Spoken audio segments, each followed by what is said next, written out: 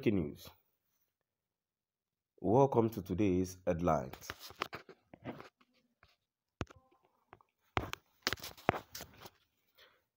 Protest over Prophet Muhammad comment turned deadly in India. Protest over Prophet Muhammad comment turned deadly in India.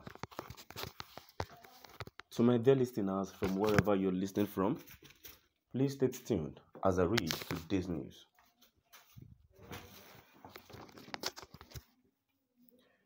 New Delhi.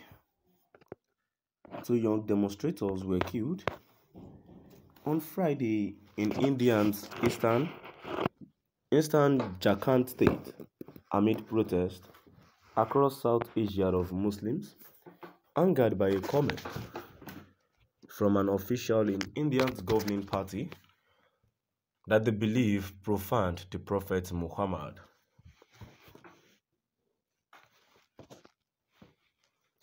The protesters were shot during demonstrations that erupted after Friday prayers in Ranchi, Jharkhand's capital. Protesters there called for the arrest of Nupur Sharma, a spokeswoman for Prime Minister Narendra Modi's party, who, lost, who last week made speculative comment on a television talk show about the relationship between the prophet and his youngest wife. That comment, along with another about, about the prophet, made by Navin Kumar Jindal, also an official in the governing Bharatiya Janata Party, prompted outrage across the Muslim world forcing the government to try to contain the growing diplomatic fallout. Since taking office in 2014,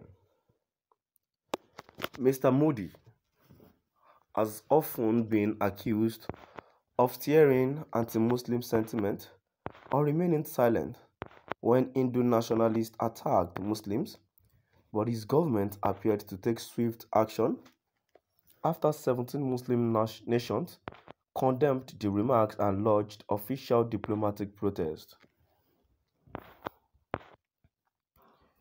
Iran and Saudi Arabia, which often cannot agree on anything, both summoned India's envoys in their capitals to complain.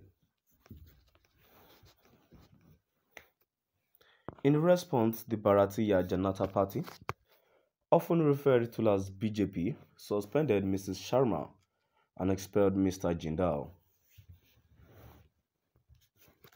The party issued a statement about how it react, how it respect all religious traditions and denounces insulting religious figures.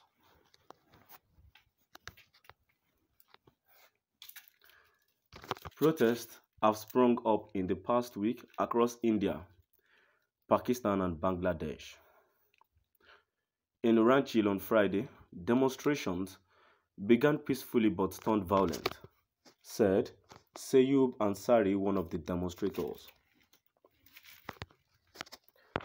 It was a peaceful protest. Nothing was, nothing was happening except slogan, sloganeering to arrest Nupur Sharma. Mr. Lansari said of the thousands who took to the street after leaving mosque, then the crowd was slowly turning out of control. The police charged the crowd with batons, Mr. Ansari said, and protesters pelted stones in return. Then the sound of gunfire sent people fleeing, he said. Two protesters were shot to death including Mudassir Alam, 15, who was shot in the head, according to his uncle,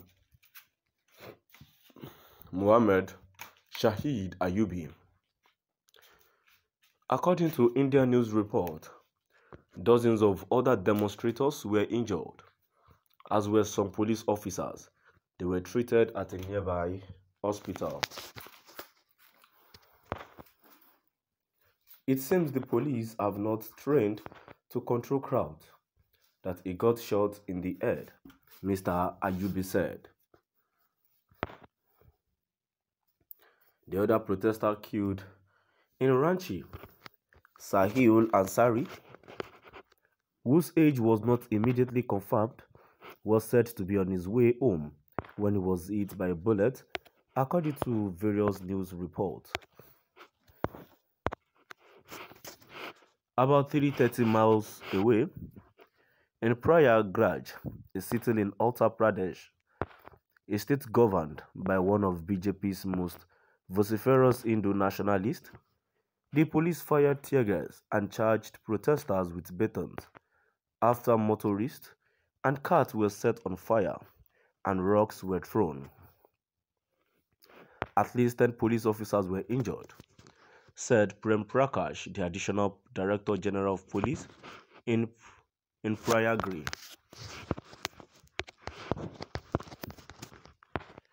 In Islamabad, the capital of Pakistan, on Friday, thousands of protesters briefly scuffled with the police as they tried to reach the Indian embassy. A notable exception to the nation's condemning the BJP officials' comment has been Bangladesh, whose leader, Sheikh Hasina, enjoys close political ties with Mr. Modi.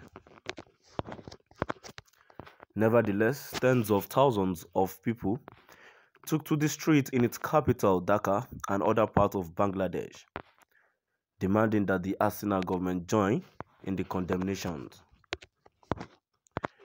This regime believes that they are dependent on India to retain the power, said Asif Nazrul, a law professor at the University of Dhaka and a political commentator, so they are not willing to do anything that makes India angry or displeased.